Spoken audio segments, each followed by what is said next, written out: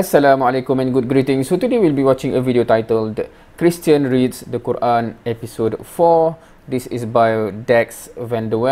We have watched um, and react to the three first episodes. This will be the fourth one. Without further ado, let's watch.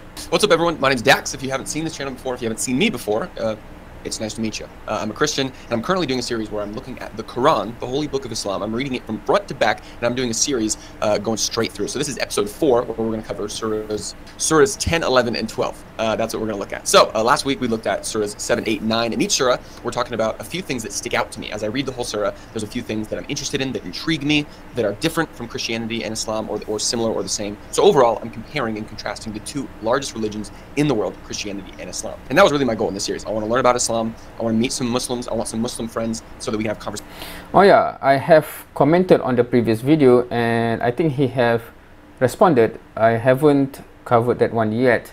So after this we will go to that one I think because he did explain something with regard to my question. That will be the next video. I forgot about that.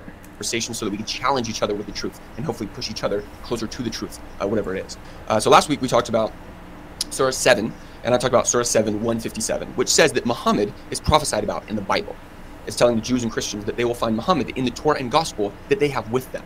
So that the Jews and Christians should be able to go to the Torah, go to the Gospel, and they should be able to see Muhammad prophesied about there. So I asked you guys, what is the best prophecy in your mind? Where do you see Muhammad prophesied about in the Bible and the Torah and the Gospel, etc.? Uh, and there were a few different answers that came up consistently. One was a lot of people pointed to Isaiah 42, uh, I, I, fully admit that's the one that I studied the least, so I really don't have an opinion on it yet. I need to study it a little bit more. Some people pointed out Deuteronomy 18:18. Some people pointed out Song of Solomon 5:16 and said Muhammad is in there. So I just wanted to respond quickly to, to a couple of these. First of all, I will say this. Uh, I watched a video by Shabir Ally. One of you posted a video by Shabir Ally. He's a famous Islamic thinker, brilliant man. I totally admit that. He's very, very smart. But Song of Solomon 5:16 is not talking about Muhammad. It's just not. Like I, I knew it wasn't but I still studied it and I looked at the Hebrew word a little bit, a little bit deeper. I tried to understand where he was coming from. But Song of Solomon 5:16 is it's just not talking about Muhammad. First of all, um, the word there is it's not even pronounced like Muhammad. The way that he pronounced it is Muhammadin, which sounds like Muhammad. So some people are like, oh, it says Muhammad. The problem is, is that Hebrew, the transliteration of that word is actually pronounced Mahmud, Mahmud, Mahmud. So Mahmud doesn't even sound like Muhammad in the first place. So this word, it doesn't really sound like the name Muhammad. Not only that, but it doesn't have the same does it not? Meaning, some people were saying it should have been translated praised one, which is what Muhammad means in Arabic, but that's that's not true. That's not what this Hebrew word means. It's pronounced Mahmud, and it means um, some sort of desire, beauty, that sort of thing, but it, it doesn't mean praise one. So this Hebrew word, it's not. It doesn't have the same meaning as Muhammad. It doesn't have the same sound as Muhammad. It's it's just not. It's not talking about Muhammad. So unless I'm missing a really big part of this argument, Song of Solomon 5.16, also in context, it's talking about someone's lover. It's talking about a couple who's in love with each other. That's what the whole book is about. So to say that this is talking about Muhammad, uh, I, I, just, I don't think it's a very good argument. So anyway, to be honest, I'm not familiar with the topic. I have watched and reacted to one video, I think, um, that pointed out, I think, is it in Isaiah or something? No, I, I don't remember um, that you know but I think because the, the the point that the video talk about is similar to what he's saying here about you know um, the word in Heb- is it in Hebrew uh, or in Aramaic I'm not sure. Um, that that is basically the same uh, like the Arabic because both are Semitic language right? Uh, mim ha mim dal that's Arabic version. So it says that it's the same etc etc etc so i'm not sure whether this is the same verse that i watch or not. I will say this. I think deuteronomy um, I will say Deuteronomy 18:18 is probably the best argument, or the closest one that I could see could potentially be talking about Muhammad. But I still think you have to stretch the text a little bit. Like the natural, the natural interpretation of Deuteronomy 18 is that it's talking about a fellow Israelite, and we know that from the rest of the book it talks about fellow brethren, and so Muslims will say, well, fellow brethren, that could be um, uh, an Ishmaelite because he's the brother of, of, you know, that sort of thing. But the problem is that when, when this author, the author of Deuteronomy, when he says fellow brethren, he's used that elsewhere to refer to fellow Israelites. He says you need to get a king from your fellow brethren, and he specifies, I'm obviously not talking about a foreign king, like one of you. So elsewhere in the book of Deuteronomy, he says fellow brethren, and he means fellow Israelites. And so he says in Deuteronomy 18:18, he says, uh, a prophet is going to rise from you and from your fellow brethren. So naturally, I think the best interpretation is that it will be an Israelite. Um, could you say that? Could you try to argue and stretch that to mean an Ishmaelite and someone who's not an Israelite? I think you could try, but I don't think I just don't think it's the natural interpretation of the text, and we need to be careful when we're stretching things a little bit. I will say this though: one thing I learned is that I said Muhammad never talked to Allah face to face. He never had any direct communication with him, but it does change because of the night journey. You guys told me about the night journey. Um, I, I, read briefly about it, but Isra and Miraj and the night journey. So basically, Allah or uh, Muhammad during his time here on earth, I think this was early in his life or earlier in, in the Meccan period, he went up to heaven and then experienced. This is actually the later part of the Mecca period, the Isra and Miraj. Uh, year 10, is it? Because it's close to, um, you know, hijrah already. These different levels of heaven, and then eventually had contact with Allah or had a conversation with Him or something. So I think it's referenced in the Quran, but then the Hadith, the Hadiths probably give more details about what that looked like. Um, so, so if you say that, okay, yeah, but Deuteronomy 18:18 could be talking about Muhammad because Muhammad did have a face-to-face interaction with uh, with Allah, that could be interesting. I still don't think, I still don't see that it's the natural, like understanding of Deuteronomy 18:18, but uh, I will look more into it. I will continue to study that one. Also, I, I do need to study Isaiah 42 more because some people said that was talking about Muhammad, so I'll look at it. Besides that, uh, surahs 8 and 9 of episode 3. Um, I talked about Islam being a religion of peace or not. And so I asked the question, when is Islam a religion of peace? Oh yeah, so my comment is with regard to this one. My question to him, whether he think uh, he can consider the religion from God um, should or naturally would cover the level of you know how you run a state etc or just individual level um, and I think he's responded and yeah again that's what that would be the next video and uh, and the responses was mostly yes islam is not it, it's a religion of peace but it's not a pacifist religion. Because there is especially in the early history of islam there's there are a lot of wars there are a lot of battles. Um, and so uh, specifically in, in surah 9 it's actually it's the later part of muhammad sallallahu mission. Um, but if you want to see islamic history from a zoomed out perspective of 1,400 years, then of course it, it's, you can consider it's early, right? Surah 9 verse 4, it's talking about there was a violation of the peace treaty, and so that led to some violence. I still don't know that that applies to verse 29. I don't know if that is still talking about the treaty that was violated, but that, again, that's for another video uh, where I'll talk exclusively on this topic. Um, also, I think the biggest problem when you're talking about is Islam a religion of peace? Is it a religion of war? I think you have to study the life of Muhammad to really understand what he exemplified. And I just don't have that knowledge. I haven't read a biography on him, and I haven't looked into a lot of the hadiths, so I'm not totally sure what that looks like. But if you really not, want to know if, if Islam is a religion of peace or not, I think you have to look at the life of Muhammad and ask uh, what, what, were his actions actually showing. And so um, I will look forward to doing that in the future. With that being said, let's hop into episode four. Make sure to drop a like and subscribe. I know that was a long recap, but I think it was necessary, and I think you guys want to know what I'm learning as well, so we can sharpen each other. All right, Surah number 10. So as usual, I'll be looking at my, you know, Quran in the, the handphone to refer to the verses that he's talking about. So while Surah number 10. So Yunus, Yunus I know I'm over exaggerating it a little bit. Yunus uh, means Jonah in Arabic. So this is, it's not all about the story of Jonah, but Jonah is referenced in verse 98. And so the surah, uh, it most likely comes from the early Meccan period. Oh yeah, so I think, because he made the remark which is interesting, I think in the Bible there are, is it books or chapter that is about specific prophets? Correct me if I'm wrong. So in, in, in the Quran, the name of the surah, there, there will be the name that is referring to the name of certain prophets. Uh, there's a surah Maryam, there's a surah, etc., uh, etc., et Al-Baqarah, etc. So it doesn't imply that the whole surah will be about that, right? Because normally the name of the surah in the Quran is referring to a, a unique item or story in the surah, right? So it's identified as that because that's the unique part of the surah. For example, the surah An-Naml. Uh, An-Naml is just the the verse is just one verse that said that that episode happened. Prophet Sulaiman or Solomon, uh, you know, cross paths with the the the Naml, right? The the ant. There's no focus there, but because that is unique to that surah, so when uh, the surah is referred to as An-Naml, people will know oh that that surah, right? So the the function of the naming is different. It's not to give an idea of the surah is fully about that. Of course, there's a one or two surah that as that is as such, like for example, Surah Yusuf, right? But most of the for for most of the part, um, it's it's different. Um, the first thing that stuck out to me in the surah is simply this question: What is the purpose of life in Islam?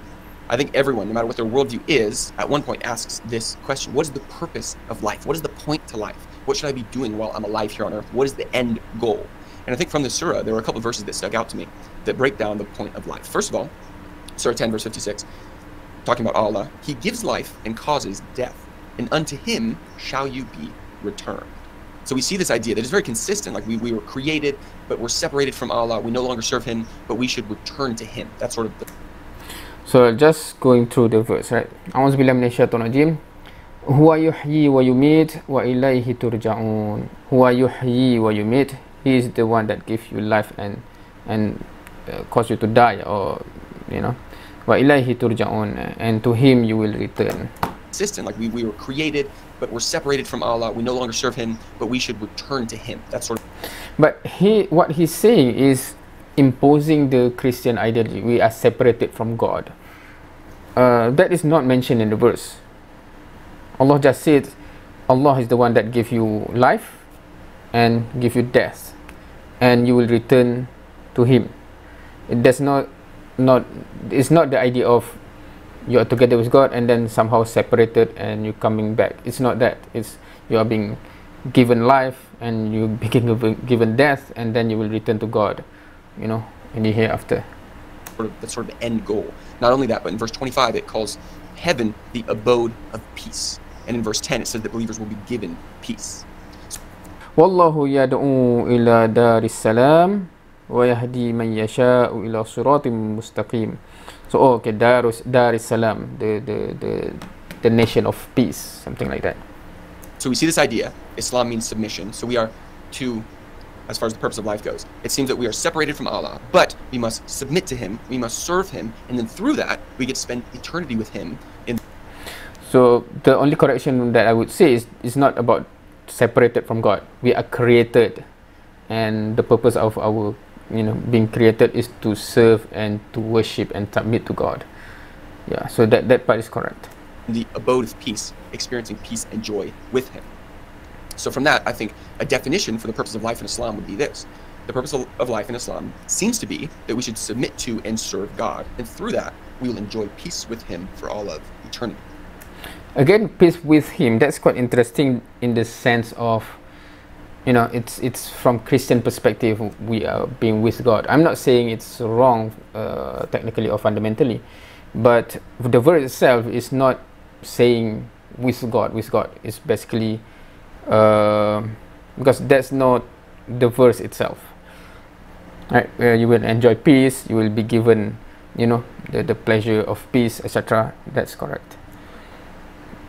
Now, if you think this is a fair definition, let me know. Um, I'm sure you guys have some sort of like if someone asked you what's the what's the purpose of life in Islam, I'm sure there's like a clear answer that um, that all Muslims recite. Maybe there's a clear verse that you guys go to to, to It, that will be Surah 56, right?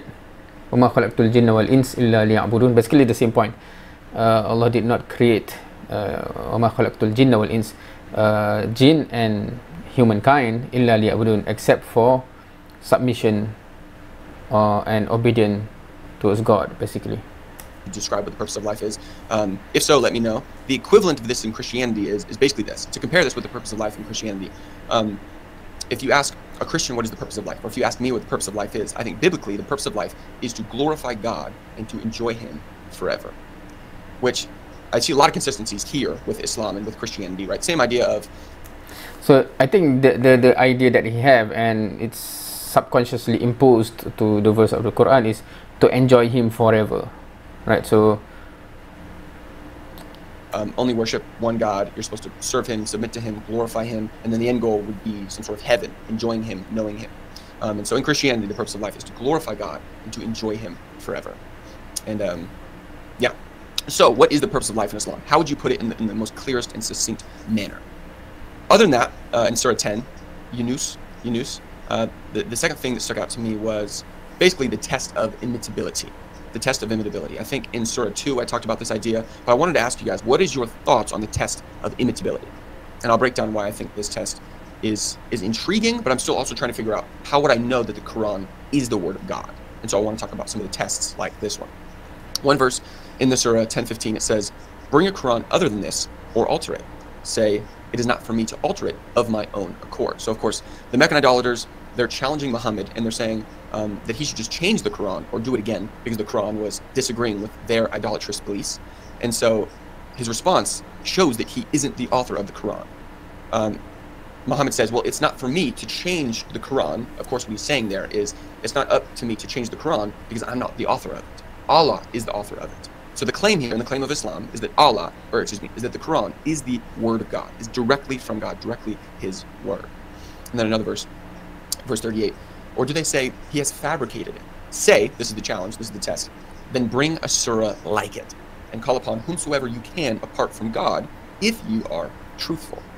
So the challenge here, the, the test of imitability, as it is called, is that, well, if you don't think the Quran is, is from God, or if you're not um, impressed with its beauty, with its order, with its eloquence, then how about you create something like it? And the idea here is that, well, you can't create something like it, therefore it's from God. Something so powerful, so amazing, so beautiful must be from God. A question I have, the question I've always had about the, the test of imitability, this idea of create a surah like it, is, well, there's not really clear criteria for this if I was actually going to accept this challenge and try to create a surah like it, well, what does that even mean? Like it in what way? Like word for word like it, um, in a similar rhythm? Does this just mean write something as beautiful? So let, let, let me share my honest thoughts about this idea. My initial thoughts about this idea is that the test of imitability, and to say that you should produce a surah like it, and if you can't, then the Quran must be from God, it's very, very subjective. And this is one of the problems I have with this test. It's incredibly subjective because it's all about, well, look at how beautiful the Quran is, how eloquent the Quran is. The problem is that's subjective. Art, for the most part, is subjective. I do think beauty is objective, but we have these subjective perceptions and opinions on what, what is beautiful. For example, I think I think Narnia is beautiful. I think the Harry Potter books are beautiful. I think there's beautiful literature everywhere. So even if I conclude that the Quran is beautiful, which I admit I do think the Quran is beautiful in some ways, but that doesn't mean it's from God, right? Beauty doesn't mean automatically from God. I would say truth does, um, but this idea of create a surah like it that, that is as beautiful and eloquent, I can say that about a ton of books. In fact, I know a lot of Christians who have read the Bible and specifically who have read the Gospels about Jesus, and they're like, this is it. This is from God. I'm going to become a Christian now because of how beautiful this story is, because of how beautiful Jesus is. I have to worship him. He's that beautiful. Okay, so this is interesting in the sense that, um, of course, to be fair, for a non Arab speaker uh, approaching the Quran, so we can only see the message, the content, the story, etc. Uh, we, we do not have the capacity to understand uh, the linguistic part of it, right?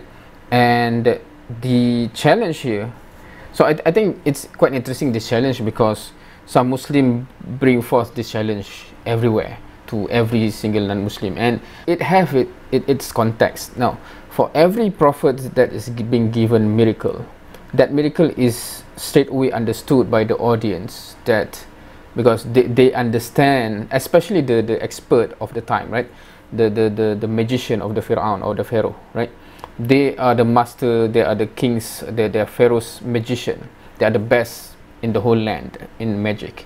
And then when Moses is being uh, told by God to, you know, uh, through his his shaft, right? His his his shaft. What what what what do you call that in in, in English? And then it, it turned into snake, etc. They recognize this as a miracle. This is no longer magic. This is beyond magic. This is from the divine. They recognize that. The expert of the time recognize that. Uh, similarly with uh, parting of the sea, etc. So we can see the same pattern in the Quran of, of the stories of the prophets where the people, the expert, especially the expert of the time, should not have any more argument to deny this is from the div divine.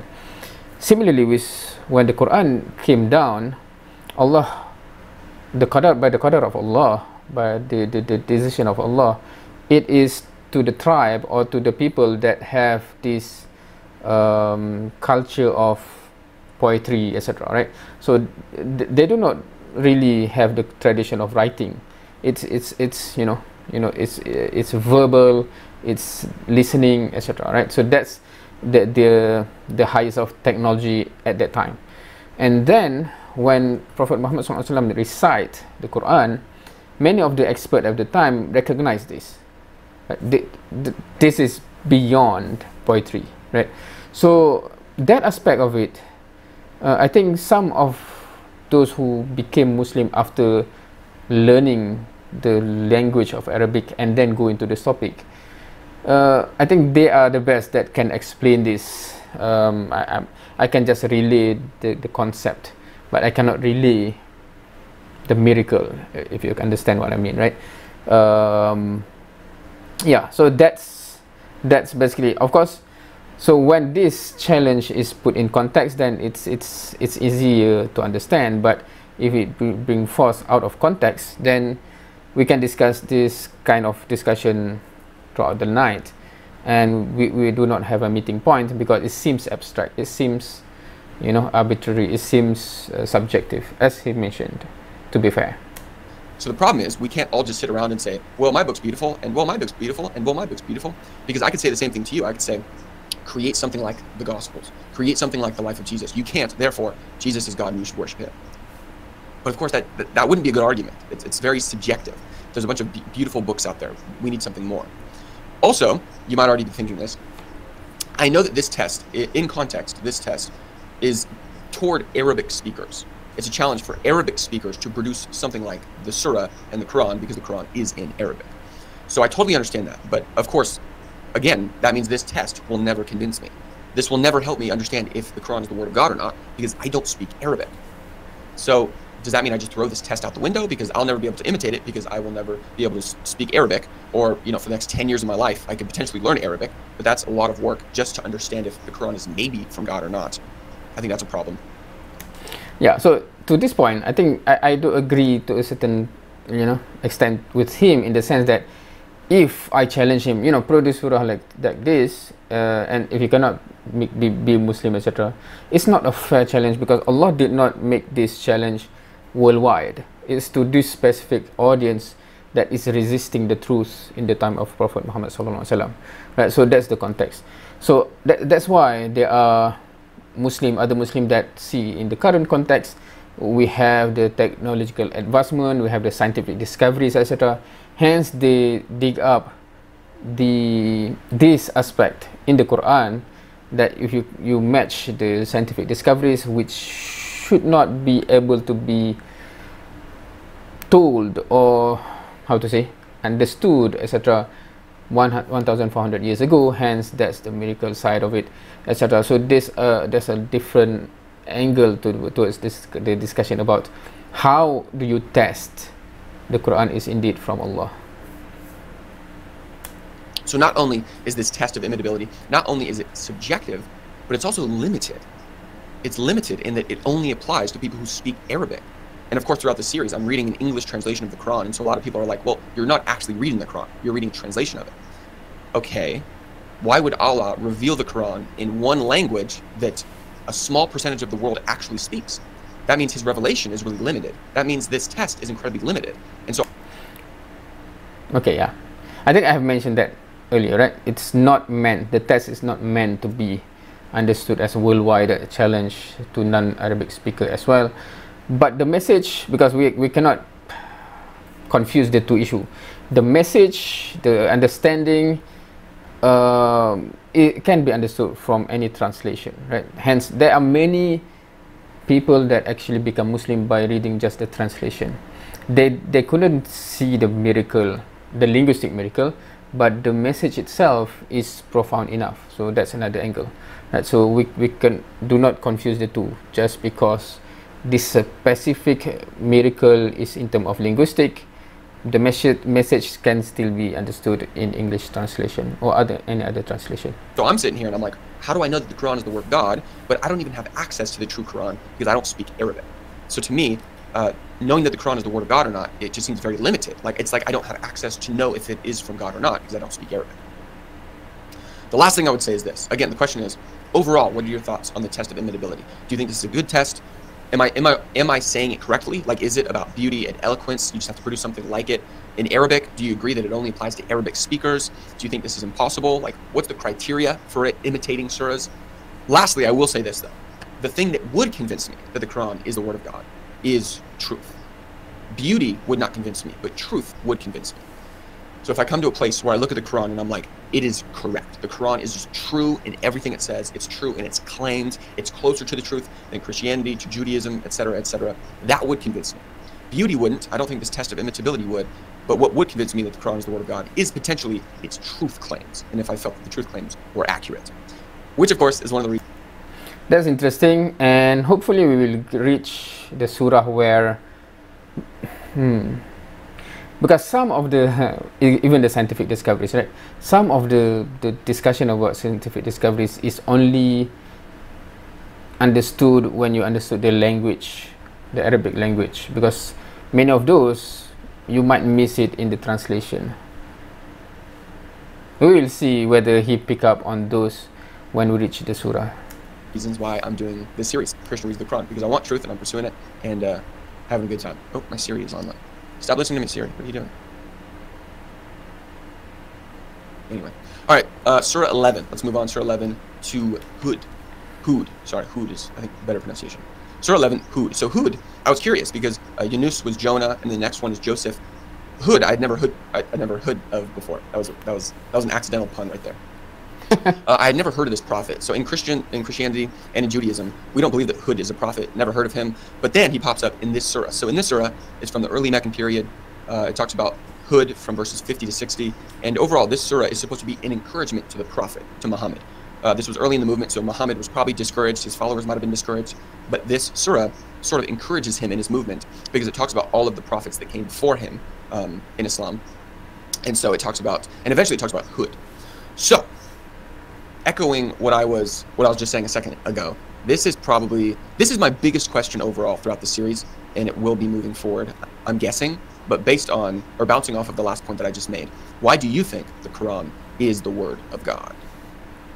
Why do you think the Quran is the word of God? The reason I ask that with this is because this is the tension that keeps arising in me when I'm reading the Quran.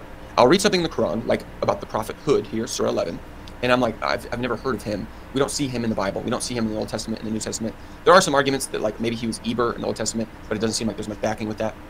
So overall, it doesn't seem like Hud is in um, the Old Testament or the New Testament.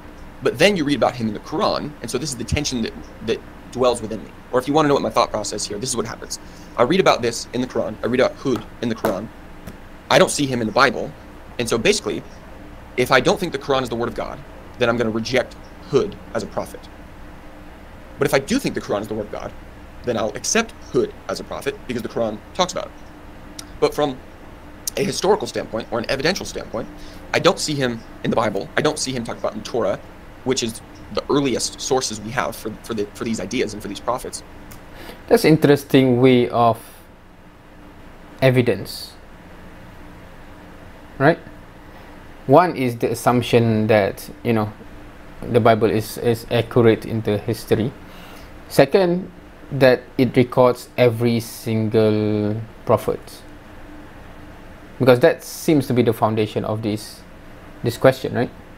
Therefore, I'm going to reject Hud as a prophet. But if the Quran is the word of God, then yeah, I'll accept what it says. So the tension that, that keeps arising in me is I read something in the Quran, I don't see it elsewhere, I should reject it. But if the Quran is the word of God, then I will accept it. That's the difference. It's a difference in presupposition. If it is the word of God, then I'll accept what it talks about in every single way. If it's not the word of God, then I won't accept these ideas that I don't see elsewhere. In principle, that is how I see it as well. Meaning, the only reason why I accept everything in the Quran because I'm convinced it is the word of God, and why I don't accept the Bible because it's not the word of God, basically. Um, and vice versa, vice versa, I would assume for a Christian although the Bible is not actually the word of God, but Christian believe it is the message of God, right? So again and again and again, it keeps coming back to this question, which is the most important question for me at least. Why do you think the Quran is the word of God? My, uh, my question to him is the same question about the Bible. Whether, why do he think it is truly from God or endorsed by God? You know why? What's the criteria? What convinced you that the Quran is, is the word of God? What about it do you think is the most convincing uh, that has led you to the conclusion that it is from God without a doubt? All right, and last but not least, let's move on to Surah 12, Yusuf. Yusuf.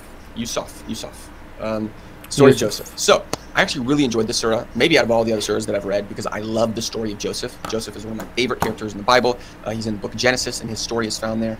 Um, now, here, in this retelling of the life of Joseph and, his, and in this story, there are some differences in this in, in the Quranic account in Surah 12 and between the Bible um, in Genesis. But again, that just comes down to presupposition. Is the Quran the word of God? Then I will accept and listen to what it says about the story of Joseph. But if it's not, then I'll listen to what the Bible says about the story of Joseph because I believe the Bible uh, is the word of God. So it's just a difference of presupposition. But overall, I still enjoyed the story of Joseph. I love the story of Joseph. There were a lot of consistencies. It's the main central narrative of his life. So I just wanted to end the video with asking, what is your biggest takeaway of the story, from the story of Joseph? What is your biggest takeaway? For me, the biggest takeaway from the story of Joseph is to be patient in the present. To be patient in whatever present moment that you are in, whatever present moment that I am in.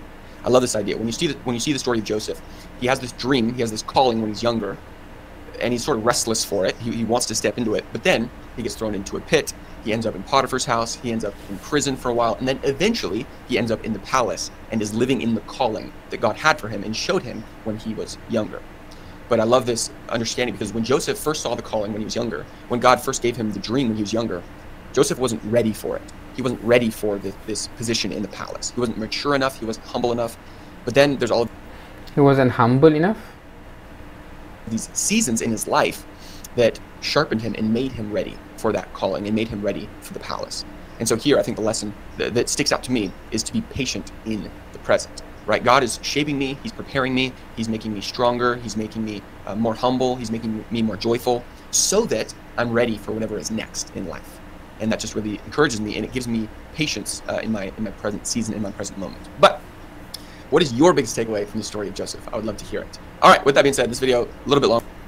Okay, so yeah, um, what he said there makes me wonder about two things. One is what is the similarity and what is the differences between the story of Yusuf or Joseph in the Bible and in the Quran? Meaning that because what he said about the, the dream, thrown in the pit, etc., etc., etc., and um, um, locked down in the jail, etc., right? Is it all, are all, are all those things the, the parallel between the story in the Quran and the Bible? while what is the difference then? Meaning you know is it just minute details or there are you know arc of the story that is actually fundamentally different that I'm what I'm interested in? Second because he talked about prophet, uh, prophethood before um, which is different existing in one and non-existing in another uh, text um, and then story of Joseph um, I'm interested when we come to certain prophets later on where the story because what he said is if one is the word of god and one is not he will accept the one that is being told by the word of god. I'm interested to see when we come to the prophets that the story is very different in in quran and the bible especially when the story in the bible have you know like a character issue major character issue with with the figure right where in the quran they are the best of the people, right? So it's very different character wise. I'm interested to see his view when we come to those prophets. longer than I wanted it to be. That's okay. Uh, if you're enjoying the series, please drop a like. It means the world. And please subscribe to the channel. Um, maybe through this video, the next couple, we can hit 4,000 subs. That would be so cool. And again, I'm super appreciative, uh, appreciative of you. If you're still in this journey, um, if you're still engaging with these ideas, I, I still think this is a really fun journey. Um, Christianity and Islam have so much influence, and for us to, to know each other's religions better and to pursue truth together, I think is a really cool venture to go on. So All right, so just to leave a comment.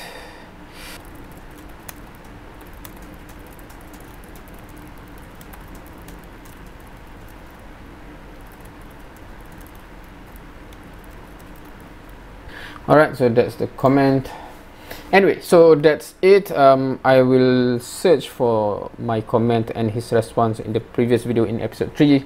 Um, and that would be the next video after this. So until then, see you next time.